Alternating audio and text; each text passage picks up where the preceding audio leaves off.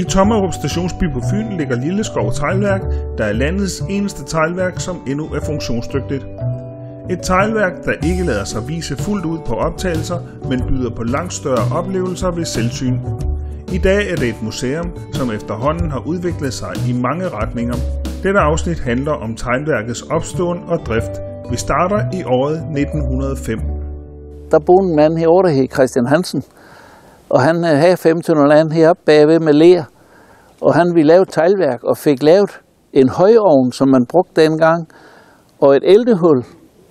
Og så hentede han øh, tre trillbørfuld ler ud i marken og en trillbørfuld grus herovre i bakken. Det er blandingsforholdet til mursten. Tre del ler og en del grus. Ned i eldehul, så smed Christian Hansen og konen sko og strømper, og så noget vand, og så ældte de rundt i det der i eldhullet. Når det var ældet ordentligt, så havde de en øh, form til to mursten. Der klaskede de læret op i, trykte det godt ud i hjørnerne og strøgte af med en pind. Det er det, man kalder håndstrøgende mursten. Blev de slået ud på et bræt, lagt ud til tørre ud på jorden. Han fik lavet godt 5.000 sten og brændt i den her højovn, men han fik dem aldrig solgt. Så gik der tre år, så nåede vi frem til 1908. Der kom der et ung par over fra Vestjylland, han var fra Fur, og han var blevet gift med kokpigen over på Rindum Teglværk, Marie. Og de kom så her til Tommerup og fandt ud af, at der var teglværk til salg, og det købte de for 5.000 kroner. Og det første, han gjorde, øh, han her, øh, Jens Christian Madsen, det var at sælge de mursten, der sad i højovnen, og så gik ham og konen i gang på samme måde, som Christian Hansen havde gjort. Han kunne sælge mursten, og der var rigtig gang i den. Men desværre så nåede vi først verdenskrig.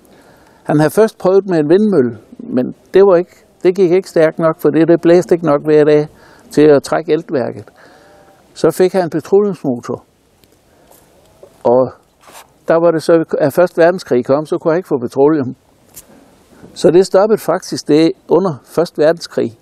Han brugte så tiden på at brække højovnen ned og lave en lille ringovn på 11 kammer hvor man kan fyre hele tiden.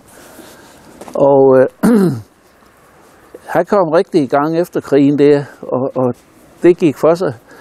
Det endte med, at han har brugt alt sit lære det år, så forpagtede han 600 land her, hvor teglværket ligger i dag, af en gård, der ligger heroppe bagved. Og så gravede de herover lære, kørte over, fik det brændt derovre. Men da de så var ved at være færdige her, så byggede han den første tørlag der, i en etage. De, alle tørlærerne her blev bygget i en etage i starten. Men han var meget driftig, og der gik rigtig, han, han så rigtig mange mursten. Bare her i Tommerup Vissenbjerg har der ligget 14 teglværker. Og efterhånden de lukket, så købte øh, Jens Christian Madsen, har købt tømmeret og bygget, brugt det til at bygge op af her. Så på den måde er det udviklet sig. Han har virkelig gjort noget ved det. Øh, det, det kommer så, når vi kommer over til, til ringovnen der og, og skorstenen. Men øh, vi kan prøve at gå heroppe af.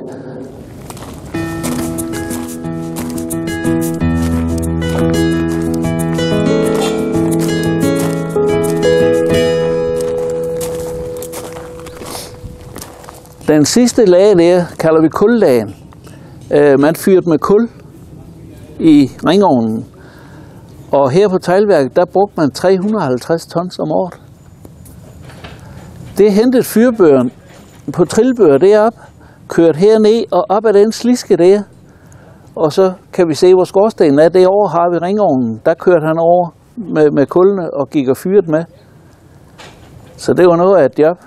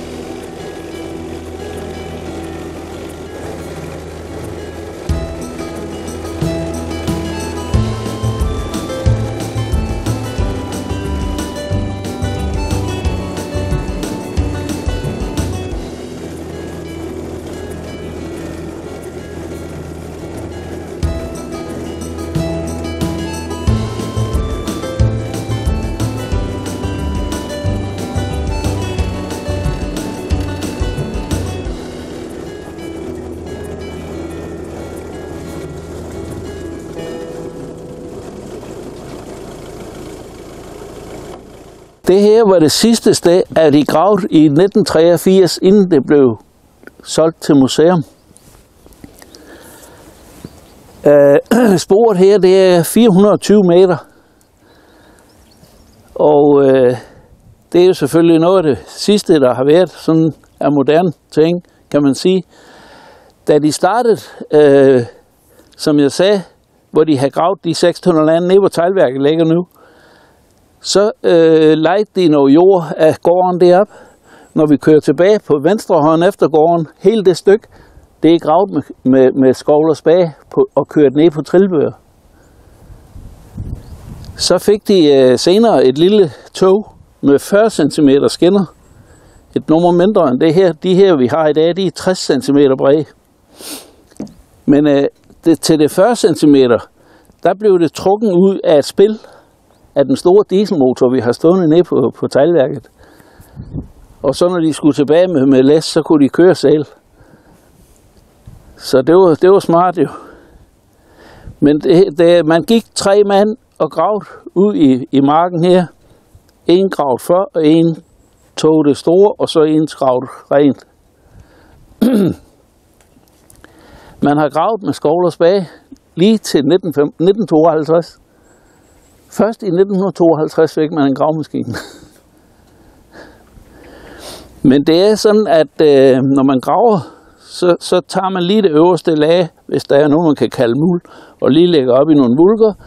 Så sætter der en 50-70 cm rødlæger. Det er det, man helst vil have. Det giver selvfølgelig rødsten. Det, der sætter under, det er mærvel, også kaldt kalk. Det brænder man gulsten af det brugte man mest til, til bagmursten og sådan noget. Hvis ikke det skulle være et guldsten, så, så skal de brændes lidt hårdere jo. Men det er sådan øh, ideen i, i hele teglværkshistorien.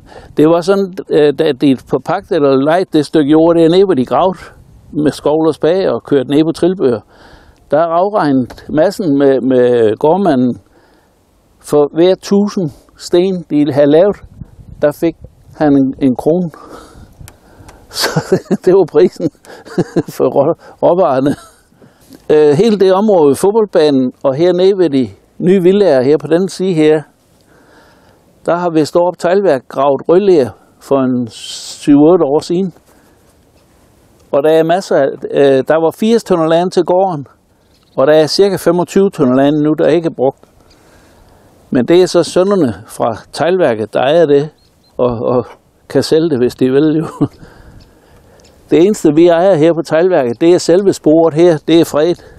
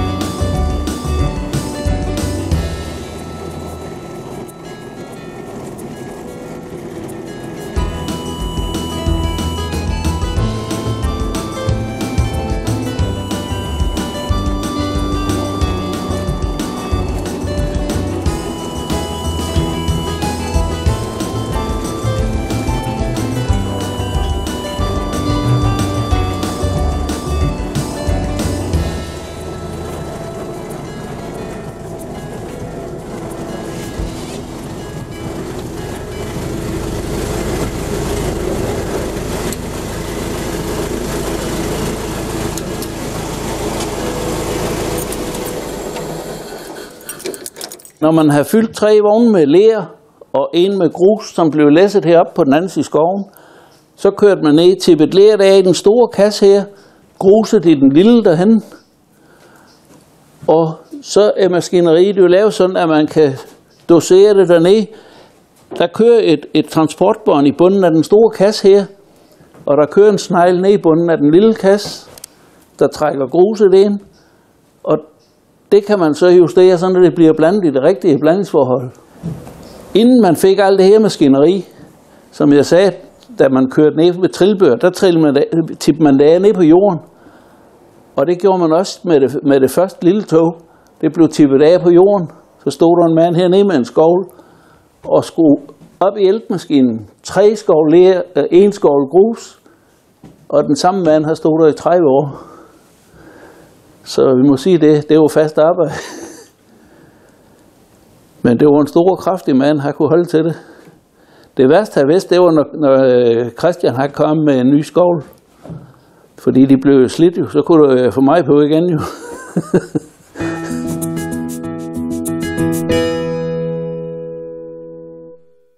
Se her har vi ældemaskinen, hvor så ler og grus kommer blandet ud der og ned i det kar. Så kan man lukke op for vandet og dosere, så man synes, nu passer det. Når det er ældet rundt og når op for enden her, så er det faktisk ældet, som groft sagt, som det skal være.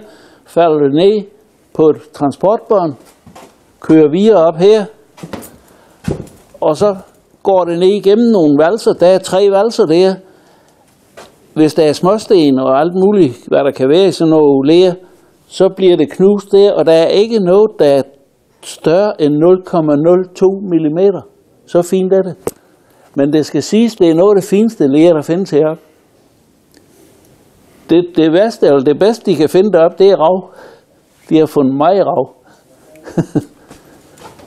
Når så der har været igennem valsen der med de tre valser, så kommer det op på det næste bånd, og så ryger det ned i den store teglværksmaskine her, hvor det så lige bliver ældet en gang mere. Ja, nu er den jo nok blevet lidt, lidt snavset der. Vi kan rigtig se, der har været nogle duer. den skulle vi have renset. Men der står teglværksmaskinen nedunder. Hele det anlæg her, det er fra 1965. Det er nummer to teglværksmaskinen, der, der står her. Ellers har det været med mere eller mindre håndkraft. Der er arbejdet 14 mand på teglværket. Det kørte hele teglværket. Så det, det er jo ikke meget, kan man sige. Her kan du se en tørlag. Der står lige godt 25.500 sten i sådan en lag, når den er fyldt op. Og de kommer, når det er heroppe på første salen, så kommer de op med den elevator her. Når, når de kommer ud af maskinen dernede, så, så bliver de skubbet ud, og så står der en, en der hakker dem 3 gange 3 sten. Når den har hakket tre, så rykker de en smule, og så kan manden, der står og tager fra, tage tre sten ad gangen, sætte over på elevatoren. Det her et kast. Og når du tænker dig, sådan en sten vejer, når den er våd, 3 kilo. Og han står altså og tager cirka 20.000 sten i løbet af en dag. Så kan vi hurtigt regne nu, det er 60 tons, han flytter med hånden. Nej, når de kom op her og blev lagt på en trilbør, så kørte han ned og satte med på reolerne. 15 på hver hylde. Næste dag kom der nogle børn eller nogle damer og skilte stenene af, for at ikke lime sammen. Og så var det, at man kunne lukke de lemmer op og lave træk, så de kunne tørre. De skulle stå og tørre i en cirka uge. Når de så var klar til det, så kom han igen med sin trilbør og lagde dem ned. Så kørte han hen på den her. Det her er en sænkestol. Der kørte han ind med trilbøren, og der er en kontravægt i den store kage der.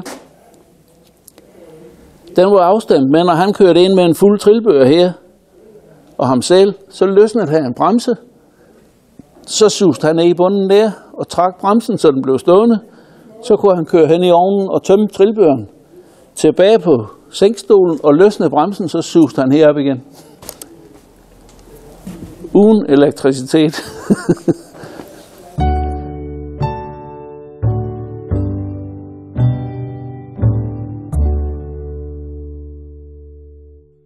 det er kultrilbøren. Og så havde han en kulskovl, som der står der, en ringkrog som den her. Og så gik han rundt herop, og nu ved jeg ikke, om der er hul her. Nej, jeg har ikke fået tændt lyset ned i ovnen. Nå. Men, men når han kiggede i dækslerne, så kunne han se, hvor varmt der var dernede. Der må ikke være over 1030 grader i sådan et kammer. Vi er fyret fra april til november. Tændt op i april måned, og så har man ild i ovnen lige til november. Man kan flytte ilden fra kammer til kammer efterhånden. Der er ingen grund til at, at slukke den.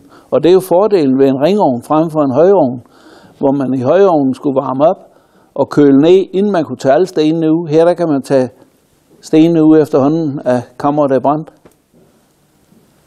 Men øh, det var jo et stort arbejde at rende herop med, med den ringkrog og kulskovl og, og kigge efter varme, så der fandt jeg ud af, at den gamle massen af et firma i Værningen, der her Robot, de kunne lave sådan nogle aggregater der, og dem kunne man sætte hen over fyrhullerne her, 3 og 3, og så blev de trukket sådan et sindrigt træk herop. Jeg kan prøve at starte det. Så kan du se, hvordan de, de arbejder. Se, så kører den tilbage, så trækker den, så trækker den en snegl herinde i bunden, og så kunne man fylde den her op med kul, og så drysse den ned i, i kammeret. og den, den, nu er de så ikke rigtig sluttet sammen, men at det er meningen, vi skal have lavet så den, den trækker tre gange i hver. Den lille pot, der sætter her, der kunne man komme olie i, og så lukke op for en hand, så det stod og drøbet. Så kunne man lave flammende sten. Skorstenen der er bygget i 39. Den er bygget af de sidste håndstrøgende sten, der er lavet her på teglværket. Men inden den kom, der var ringovnen på 18 kamre, hvor den i dag er på 22. Men øh, så skulle man have udvidet, og den gamle skorsten, det var lavet af træ og stålplader. Den stod fri af ovnen. Så skulle massen have lavet de sidste fire kammer rundt om her, og så en ny skorsten. Og det skulle han have et tilbud på fra murmesterne. Og der kom de så de år, det var i 30'erne jo, hvor det var kniven med arbejdere, så kom de jo arbejderne, dem der var organiseret, og siger, at vi vil ikke have vores tilbud åbnet sammen med de uorganiserede. Så lurte han lidt på det massen, så siger han, det er lige mig. De organiserede, de får lov til at bygge ringovnen og skorstenen, og de uorganiserede, der har jeg en lille byggrund heroppe, de må bygge en lille villa heroppe til mig. Så var alt glad. Inden besøget i ovnen kan man se udformningen på denne model. Så kørte man ind her med en trilbør med, med 120 sten på.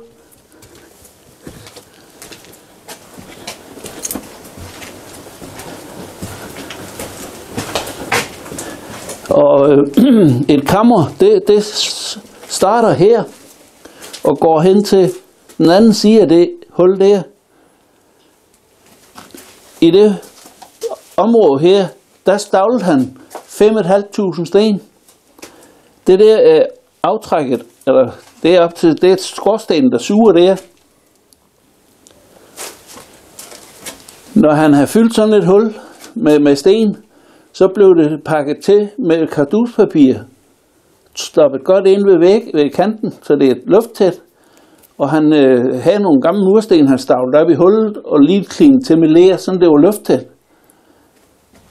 Så var det så nemt, når de så skulle flytte varmen, så øh, lukkede han for trækket dernede, og lagde en, øh, den, den gik vi lige lidt hen over det op, den runde kasse, det er en småkasse, den lagde han hen over de tre huller, og så lukkede han et spjæl, lukket for det og lukket det næste op, og så, så kunne varmen trække op igennem hullerne der og hen, og så ned i de næste, og så, så brændte det karduspapiret væk, og så varmte det op på den måde der, så man kunne flytte ilden. Det kørte bare hele året rundt, eller fra april til november. De huller der, der hvor vi har lysene, der er tre, og det er der tre gange i et kammer. Ni, ni huller til, til et kammer, og der drysse, når man stille, eller sat murstenene herinde, så laver man øh, sådan et, et, en, øh, hvad skal man sige, en sluk ned imellem dem, ud for de der huller. Det kaldte man et fyrblad, fordi så dryssede kullene ned og hele i bunden, og så kunne de brænde. De fine kul der, det er jo ligesom noget snus, det brænder ligesom en stjernekaster jo. Så på den måde, der fyrte man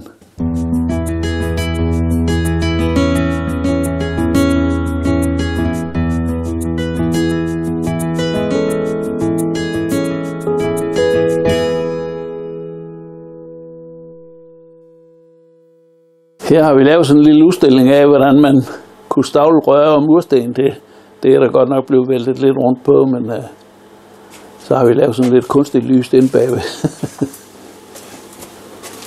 så bukker vi hovedet igen. Da det startede som museum, var der en smedmester ude i Dyrup, H.P. Jørgensen. Han havde en, en smede, og han var lærer på teknisk skole. Og han så ideen i det her, og sagde, jeg vil skænke min smede ned til her, hvis vi kan lave et museum. Og så i den bagerste tørlag hernede, der blev der lavet otte S'er. Så kunne han tage hæve med eleverne fra teknisk skole, hvor de kunne smede på et stykke ryglønende jern. Det kunne de ikke på skolen.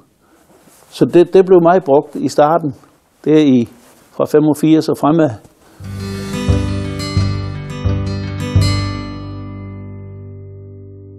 Vores skincykler, der har vi et specialværksted herinde, hvor de kan stå og reparere og male om vinteren, hvor der er varme på.